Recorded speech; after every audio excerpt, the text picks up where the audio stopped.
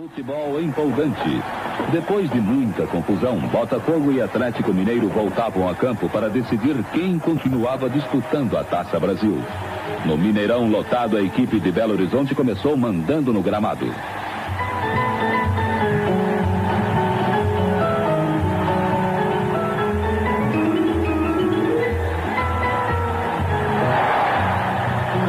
Manga no gol não deixava passar nada. E o arqueiro seguiria fazendo defesas sensacionais.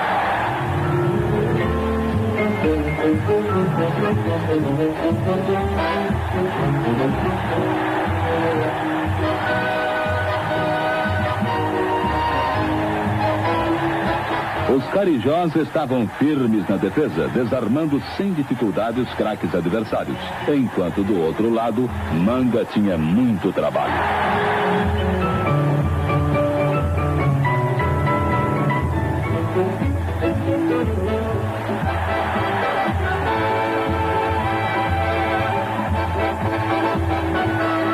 0 a 0 no primeiro tempo. E na etapa final, a melhora dos cariocas era muito pouca.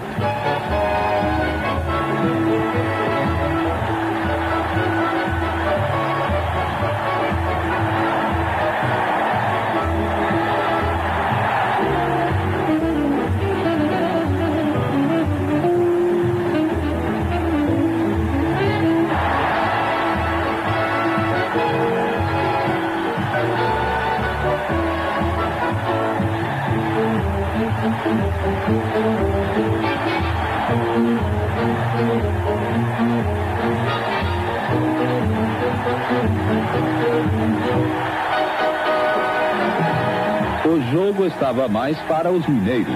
O difícil era passar pelo ágil keeper do Botafogo.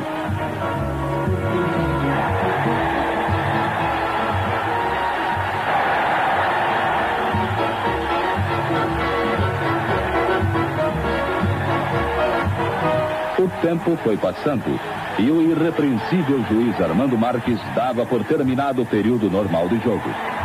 Agora teria de ser disputada uma prorrogação de 30 minutos. Haja pernas para duas horas de futebol corrido e nervoso. Mas os craques voltariam a correr.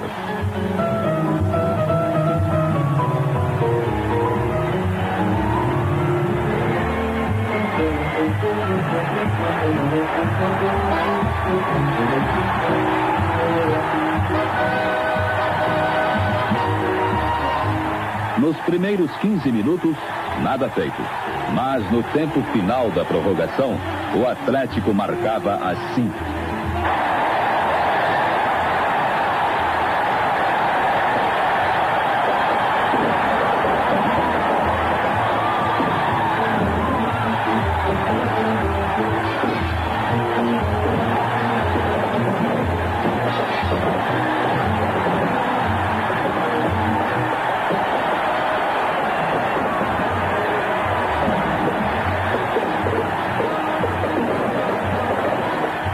Os botafoguenses foram procurar desesperadamente a chance do empate.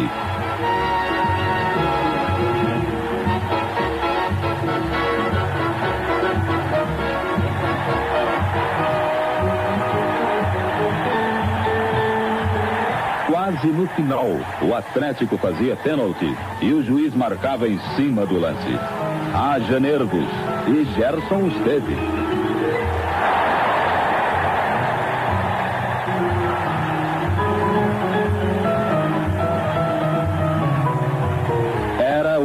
Empate, mas jogo não teve mais, porque o regulamento mandava apontar o vencedor na cara ou coroa. E assim foi.